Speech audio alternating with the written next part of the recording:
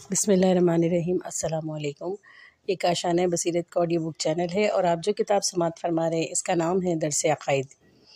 इसकी तारीफ़ की है हजरतुलस्लामसलमिन ग़ुलाम अली संजेरी ने और इसका तर्जुमा किया है सैद सप्तान अली नकवी ने। आइए सुनते हैं चौंसठवां दर्स। माद का पार्ट नंबर फाइव सफ़ा नंबर चार सौ छिहत्तर। हकीकत मौत। कम फरस्ती जहाँ के जमा की कुछ न पूछो, अहवाल क्या कहूँ मैं इस मजाल से रवा का।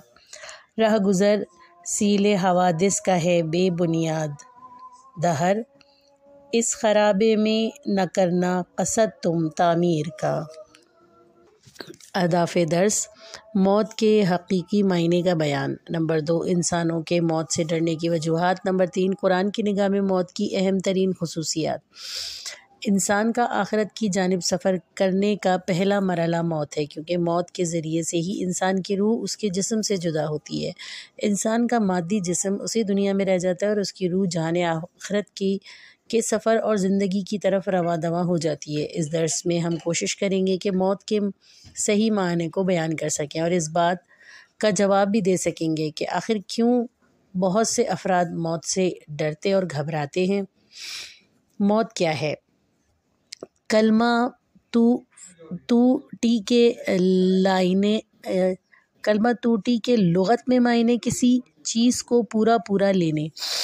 के हैं और इसी लिहाज से इंसान के मरने को वफ़ात कहते हैं कि फ़रिश्ता इलाही उसकी रूह कब्ज़ कर लेता है और वो उसकी रूह को बदन से जुदा कर देता है। इस्लामी नुक़ निगाह से मौत के मायने रूह का बदन से जुदा होना और दूसरे जहान जहान में ज़िंदगी को जारी रखने के हैं।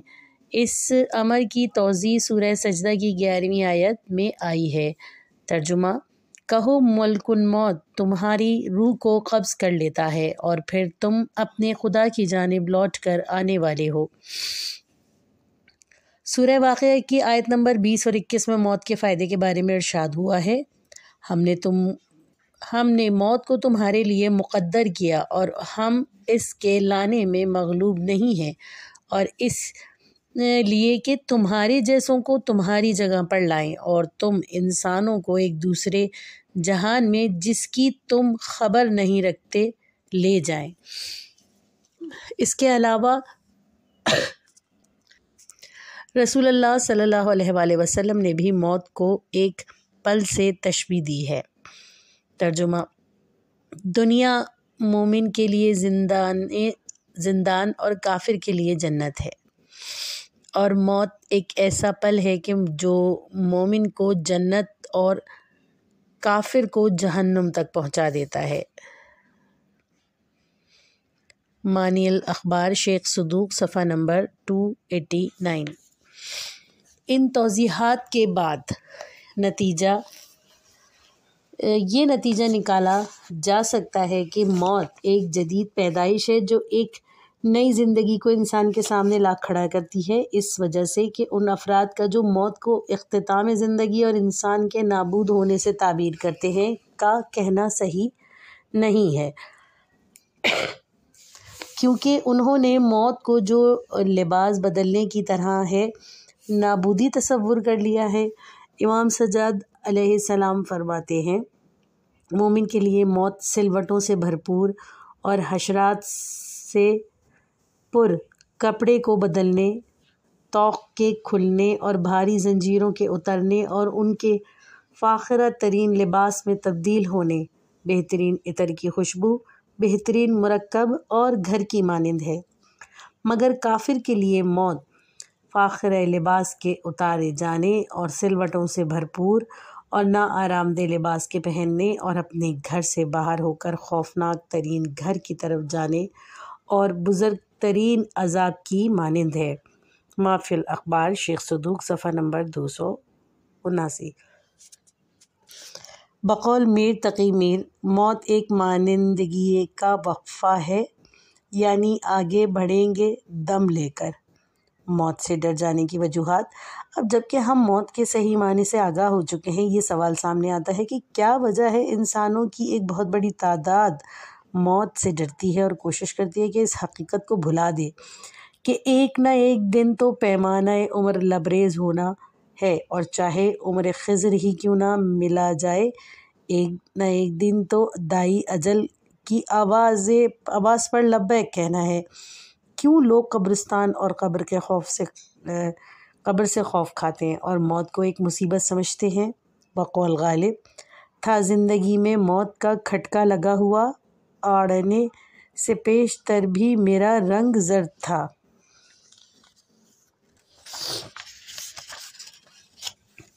इस सवाल का जवाब दर्ज जेल सूतों में बयान किया जा सकता है। मौत को नाबूदी के मायने में लेना, जैसे कि हमने तोज़ी की कि मौत का मतलब रूह का बदन से जुदा होना और यह एक पल की मानंद है जो इंसान को दुनिया से आखिरत की तरफ़ ले जाता है। मगर बाज़ अफराद मौत के ये मायने नहीं लेते, जो हमने बयान किए हैं, बल्कि वो तो गुमान करते हैं कि मौत नाबूद हो जाना है। एक तरफ़ तो सारे इंसान फितरी तौर पर ज़िंदगी ज़िंदगी जावेद से इलाक़ा रखते हैं और नाबूद होने को पसंद नहीं करते। इसी वजह से जो चीज़ नाबूदी का बायस बन रही है और इंसान उससे मुबारा, मुबारजा आरा होता है। और अगर उससे मुकाबले की तोानाई ना रखता हो तो फिर उससे ग्रेस करता है और वहशत खाता है। ये बात तबई है कि जो भी मौत को नाबूदी के मायने में लेगा वो मौत के लिए ऐसा ही एहसास रखेगा जैसे कि बयान किया गया है। और मौत से भागने की कोशिश करेगा। इस मुश्किल का हल मौत के बारे में इंसान के नुक़ नज़र की असलाह में मुजमर है। इमाम हसन अस्करी सलाम फरमाते हैं, मेरे बाबा इमाम नकी अलैहिस्सलाम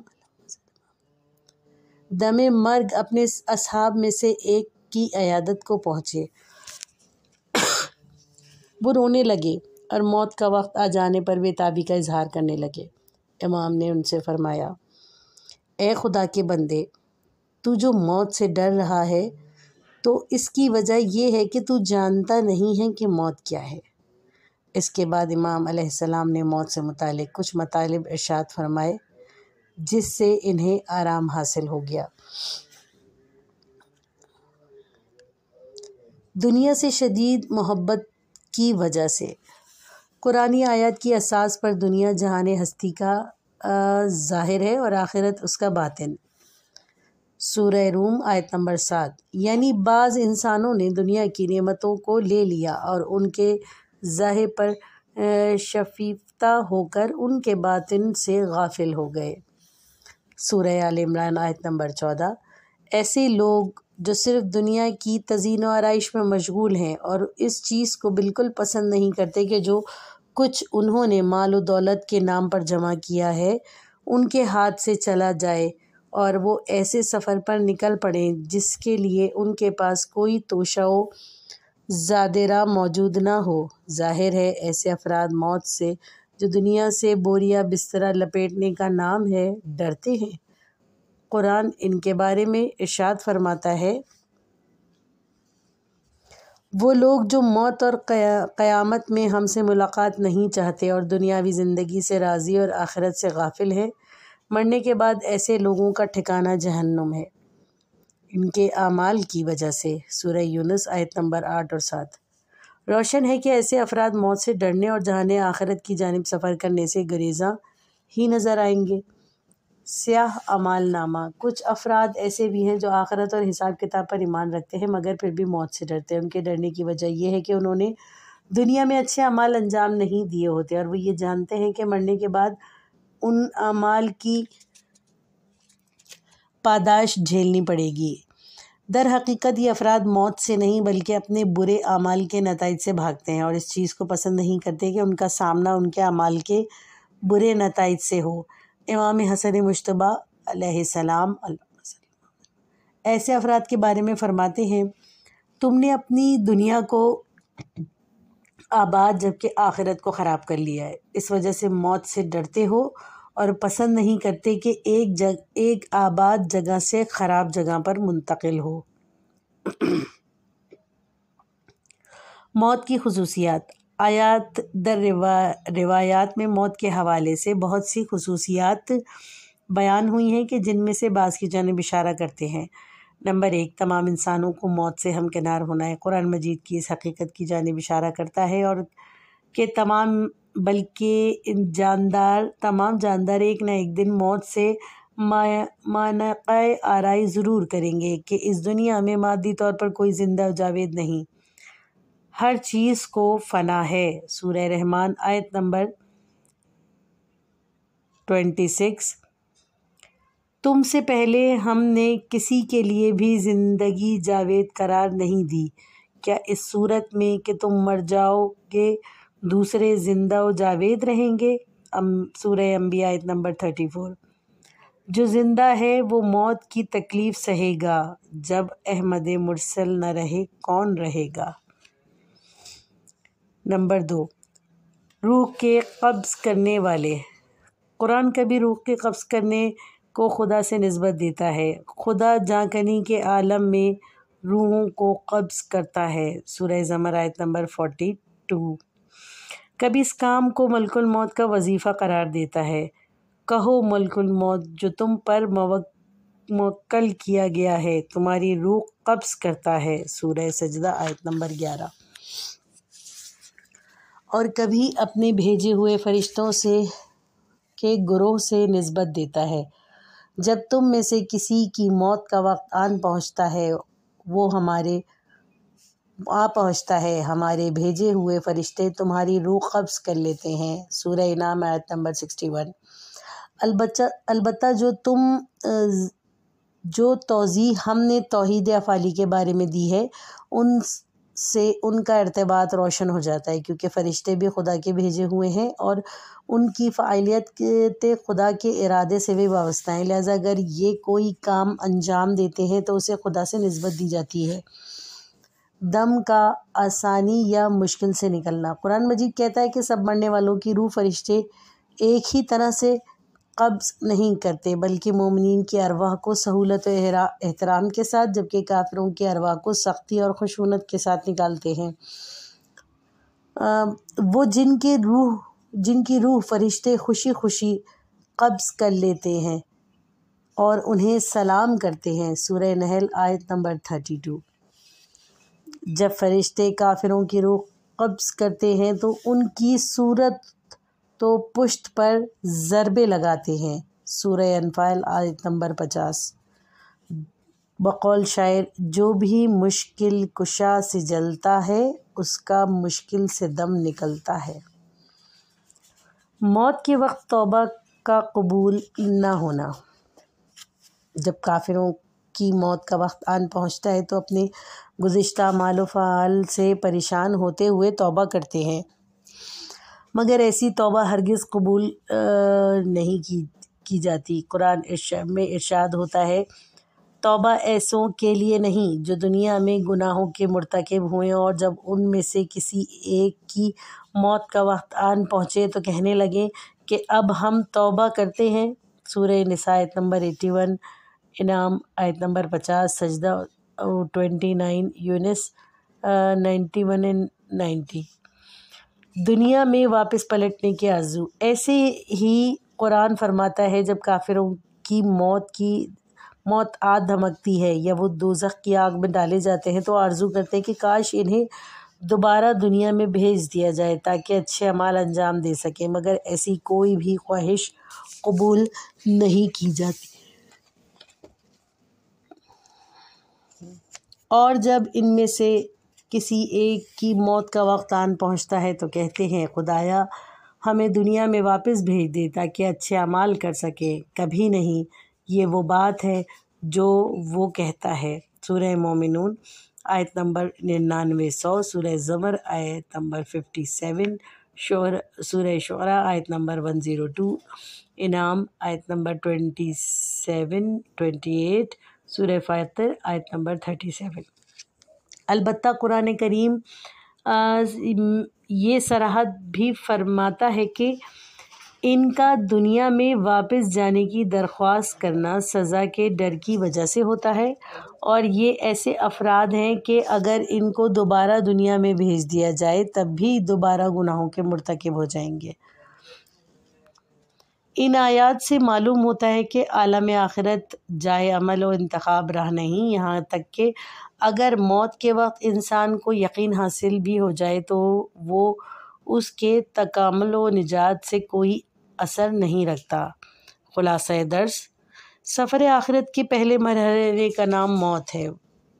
वफ़ात अरबी ज़बान का लफ्ज़ है, जिसके मायने किसी चीज़ को पूरा पूरा लेने के हैं इस बना में मौत में मलकुन मौत इंसान को पूरा पूरा ले लेता है, यानी उसकी हकीकत जो रूह को कब्ज़ कर लेता है।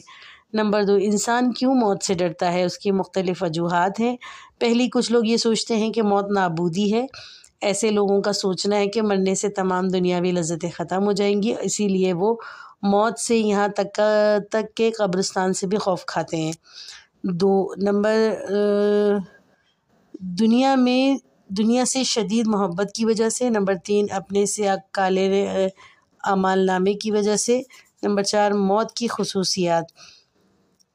तमाम इंसानों को मौत का जायका चखना है। रूह का कब्ज़ करने वाला खुदा है या मलकुल मौत है या उसके भेजे हुए। इंसान में से कुछ का दम आसानी से निकलता है और कुछ का सख्ती से भी निकलता है। मौत के वक्त कुफ्र से तौबा कबूल नहीं होती। मरने के बाद से इंसानों को दुनिया में वापस पलटने की आरज़ू रहती है। साठवां दर्ज सफ़ा नंबर चार सौ तिरासी, बरज़ख और क़यामत। इमाम सादिक सलाम फरमाते हैं, मरने वाला आलम बरज़ख में कार खैर और इस्तफ़ार जो उसके लिए किए जाते हों से खुश होता है, बल्कि ऐसे ही जैसे ज़िंदा लोग तहफ़ से खुश होते हैं। वसाइल शिया जिल तीन, सफ़ा नंबर चार सौ चवालीस, हदीस नंबर छः सौ छः हज़ार पाँच सौ निन्यानवे। आदाफ़ ज़र्स बरज़क और क़यामत का के मायने का बयान बरसक और क़यामत की अहम खसूसियात का बयान बरसक के मायने। बरज़क के मायने ऐसी चीज़ के हैं जो दो चीज़ों के दरमियान वाक़ हुई है। एतक़ाद इस्लामी में बरज़क ऐसे जहान को कहते हैं जो आलम दुनिया और आलम आखिरत के दरमियान मौजूद है। रूह के जिसम से जुदा होने के बाद और जहान आखिरत के लिए दोबारा ज़िंदा होने से पहले इंसान की रूह उन दो आलमों के दरमियान रहती है जिसका नाम बरज़ख है। बरज़ख के इसबात के लिए मुख्तलिफ़ दलाइल मौजूद हैं। मसलन कुरान करीम में इर्शाद होता है और जब इनमें से किसी एक की मौत आन धमकती है तो कहते हैं, खुदाया, मुझे वापस दुनिया में भेज दे, शायद मैं अच्छे अमाल अंजाम दे सकूँ। ऐसा हरगिज़ नहीं होगा। और ये तो बस ज़बानी जमा खर्च है और उनके लिए मुसलसल एक बरज़ख है, यहाँ तक कि ये दोबारा उठाए जाएँगे। सूर्य मोमिनून, आयत नंबर निन्यानवे और सौ।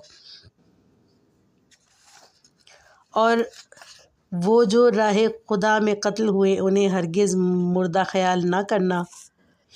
बल्कि वो तो ज़िंदा हैं और अपने रब के पास से रस पा रहे हैं, जो खुदा ने उन्हें अपने फ़ज़ल से अता किया है। इस पर खुश हैं और जो अभी तक उनसे मुलहक नहीं हुए, उन्हें बशारत देते हैं। ना ही उन पर कोई खौफ है और ना ही कोई हुज़न। सूर्य आल इमरान, आयत नंबर 169 170 बरज़क के इसबात के लिए आयत से दो नुक्ते बरामद होते हैं। अव्वल, मौत के बाद की ज़िंदगी, यानी इंसान की रूह के, रूह मौत के बाद भी ज़िंदा रहती है और अपने रब के पास से रिस्क पाती है। और ये आयत कहती है कि तुम गुमान न करो कि शहदा मर चुके हैं, बल्कि वो तो अब भी ज़िंदा हैं। और ज़िंदगी हकीकत ज़िंदगी हकीकत से हमकिनार है। दो, उन लोगों को बशारत उन लोगों की बशारत जो अभी तक ज़िंदा हैं और दुनिया, आलमी दुनिया में जी रहे हैं। ये कहना इस बात का पता देती है कि मरने के बाद भी अरवा ज़िंदा है और किसी ऐसे को जो अभी तक ज़िंदा है और आलम मादा में जी रहा है, बशारत दे सकते हैं। इससे साबित होता है कि दुनिया के वजूद के साथ साथ एक और आलम भी है और जहाँ अरवा रहती हैं। जब उससे कहा गया, जन्नत में दाखिल हो तो कहा, काश मेरी कौम को भी, कौम भी ये जानती कि मेरे खुदा ने मुझे किस करामत से नवाजा है। सूरह यासीन, आयत नंबर ट्वेंटी फाइव और ट्वेंटी सेवन। इस बहिश्ती इंसान के मुतल्लिकान दुनिया में हैं और मरने के बाद इस बंदे से कहा जाता है कि, जन्नत में दाखिल हो जाओ। बस उसकी तमन्ना और आरज़ू क़यामत से पहले इतफ़ाक़ पजीर हुई। क्योंकि आखिरत में तो तमाम इंसान खुदा की नेमतों को देखेंगे और ये देखेंगे, ये आयत पता देती है कि इंसान की रूह मौत के बाद भी ज़िंदा रहती है। इसके अलावा दूसरी आयत भी बरज़ख के वजूद पर दलालत करती है। काफिर कहेंगे कि परवरदिगार, हमें दोबारा मार और दोबारा ज़िंदा किया कर, हमें दोबारा मार और दोबारा ज़िंदा किया। बस हम अपने गुनाहों का इतराफ़ करते हैं और तो क्या दोज़ख के अज़ाब से रिहाई की कोई राह मौजूद है? सूरह गाफिर, आयत नंबर ग्यारह। दो मौतें हैं, एक तो इस जहान में और दूसरी मौत बरज़खी हयात के बाद जब सूर फूका जाएगा और दोनों ज़िंदगियों से मुराद मौत के बाद हयात बरज़खी और दूसरी वो ज़िंदगी जो दोबारा सूर फूकने के बाद रोज़ क़यामत ज़ाहिर होगी। और ये आयत आलम बरज़ख का अच्छे अंदाज में असबात कर रही है। रिवायत में भी एक कसर तादाद है जो बरज़ख के वजूद पर दलालत करती है। वो रिवायत जो बरज़ख के वजूद पर दलालत करती है, हम उनको कुछ हिस्सों में तकसीम करते हैं। अलिफ़ वो रिवायत जिनमें ये बयान हुआ कि मरने वालों की रूहें अपनी कब्र के ज़ायरीन से मोहब्बत करती हैं और उनके लिए दुआ भी करती हैं। बे, वो रिवायत जो इस बात पर दलालत करती है कि मोमिन क़यामत से कबल अपने हजरों में आसाइश ज़िंदगी गुजार रहे हैं और कहते हैं कि ए खुदा, क़यामत को बर्पा, फरमा, ताकि तेरे वादे हम पर रोशन हो जाएँ। नेज़ कुफ़ार कहते हैं, खुदाया, क़यामत को बर्पा ना करना, वरना हम पर तेरे वादे अश ताकि हम पर तेरे वादे आश्कार ना हों। जीम, वो रिवायत जो इस अमर को बयान करती है कि खुदा ने मोमिन की अरवाह को वादी सलाम और काफरीन की अरवाह को वादी बरहूत में मुतसक्र फरमाया है। वो रिवायत जो बयान करती हैं कि रसूलुल्लाह अलैहि वसल्लम और अहले बैत और मोमिन और कुफ़ार की मौत के बाद उनसे कलाम फरमाया, जैसे कि बदर के काफरीन की मैतों से रसूल अल्लाह वसल्लम ने ख़िताब फरमाया था और अमीरमिन सलाम ने कोफे से बाहर मौजूद कब्रस्तान में वहाँ के मुर्दों से कलाम फरमाया था। लिहाजा हम कह सकते हैं कि रिवायत में बरज़ के वजूद के बारे में तवातर से अहदीस मिलती हैं। इंसान का बरज़खी जिसम। फ़लसफ़ा ओला की बुनियाद बिना पर अरवा आलम बरज़ख में भी जिसम के हामिल होती हैं मगर इनके अबदान इस जहान में दुनिया अजसाम से लतीफ़ तर होते हैं मगर इस हाल में भी मादी बदन की खसूसियत रखते हैं जैसे कि शक्ल कद काट वगैरह। रिवायत में आया है कि मरने के बाद इंसान ऐसी शक्ल में हो, होते हैं कि एक दूसरे को पहचानते हैं। जब खुदा किसी आदमी की रूह कब्ज़ कर लेता करता है तो खुदा उसे एक दुनिया की तरह के ही काल कालिब में करार देता है जो खा खाता भी है और पीता भी है। जब कोई नया शख्स उनके पास आता है तो ये उसे पहचानते हैं क्योंकि वो भी वैसे ही आ, आता है जैसे दुनिया में होता है। बिहारुल अनवार जल्द छः सफ़ा नंबर दो सौ उनहत्तर। उल्मा इस्लामी ने इस बदन को जिसम मिसाली का नाम दिया और इस बदन को इंसान से हालत ख्वाब में मौजूद बदन से तशबी दी है। बोली सीना, अल हिसियात शफा मकालमा नहम, फ़सल सोम, मुचहारुम। सैयद मोहम्मद हुसैन तबातबाई, नहायतुल हिकमता।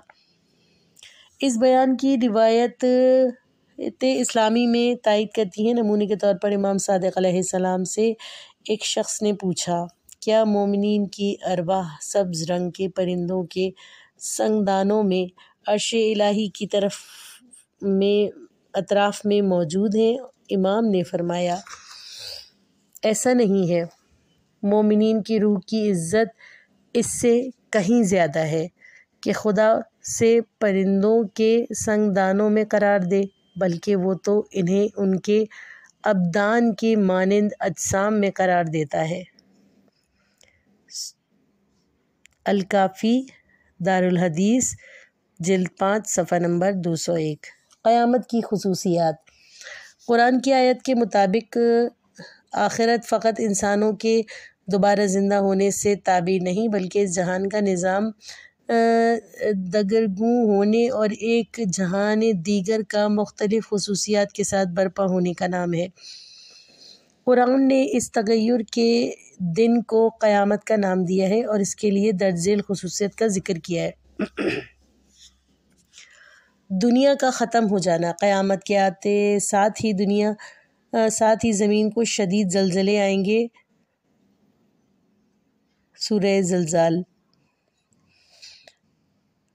और जो कुछ उसके अंदर है, उसे बाहर निकाल देगी। समंदर शगाफ्ता हो जाएँगे, पहाड़ चलने लगेंगे। इसके बाद ये एक दूसरे से टकरा दिए जाएँगे, जिससे ये सुरमा हो जाएँगे और इनसे शराब के सिवा कुछ नहीं बचेगा।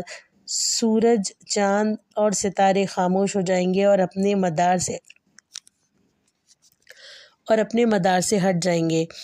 आसमान जो एक महफूज शामियाने की तरह तना हुआ है मुतजल हो जाएगा, शिगाफ्ता हो जाएगा और उसके बाद आसमान की ये बिसात लपेट दी जाएगी और सितारों को हदफ कर दिया जाएगा।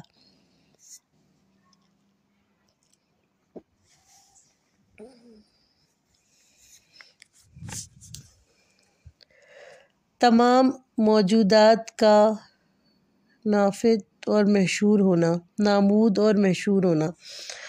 जहान का निज़ाम बर्बाद होने के बाद अल्लाह सूर मर्ग को अपने फरिश्तों में से किसी एक के हाथ में थमा देगा, जिसके बचते ही तमाम ज़िंदा मौजूदात मर जाएँगी और जहान तबीयत में हयात का कोई असर बाकी नहीं रहेगा।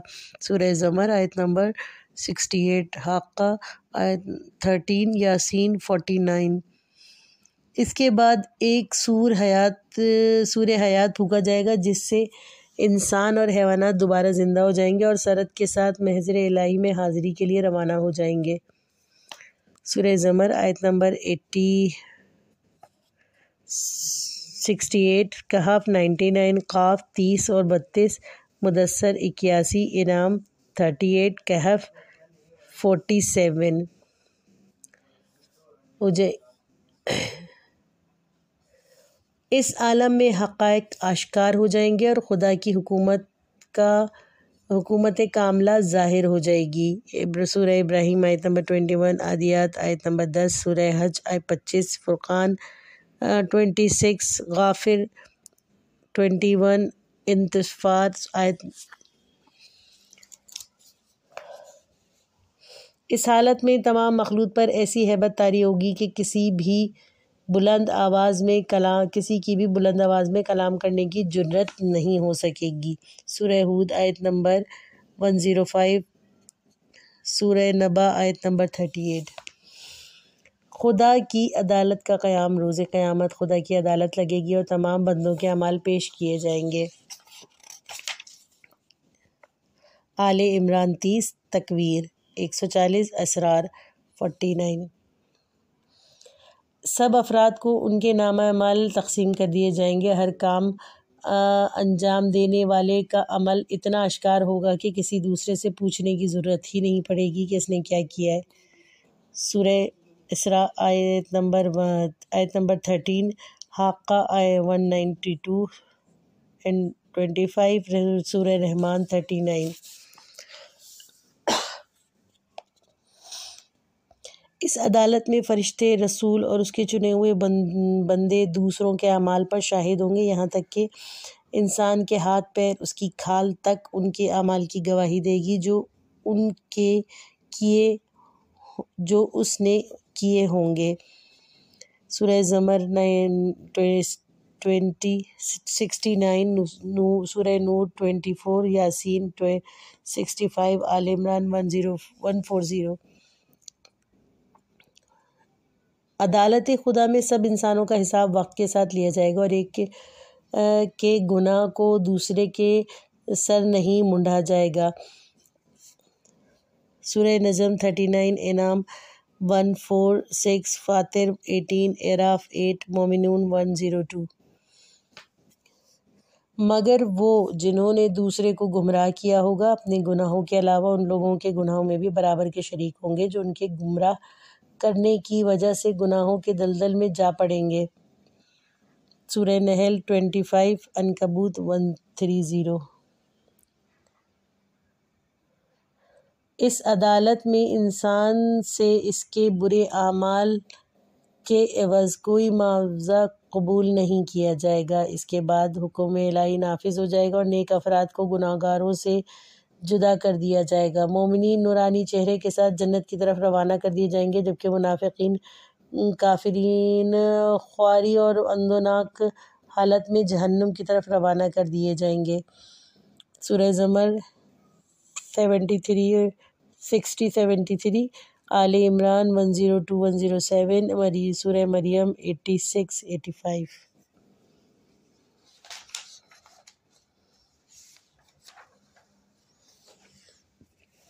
खुलासा दर्स। लफ्ज़ बरज़ख दो चीज़ों के दरमियान में पाई जाने वाली चीज़ के मायने हैं। आलम बरज़ख को इसलिए बरज़ कहते हैं कि वो दुनिया और आखिरत के दरमियान मौजूद है। नंबर दो बरज़ की खसूसियात इस आलम में बदन मिसाली होता है। नंबर दो क़यामत तक यही आलम में बरज़ख अच्छे लोगों के लिए जन्नत और बुरे अफराद के लिए जहन्नुम की सूरत अख्तियार कर लेता है। नंबर तीन, क़यामत की खसूसियात अलिफ, दुनिया का तबाह हो जाना बे तमाम मौजूदात का मर कर दोबारा ज़िंदा होना, जीम अदालत इलाही का क़याम पजीर होना और इसके बाद मुजरिमों को जहन्नुम और नेक अफराद को बहिश्त में दाखिल करना। ये हिस्सा ख़त्म हुआ। इस दर्स का इकसठवां दर्स अगले पार्ट में सुनिए।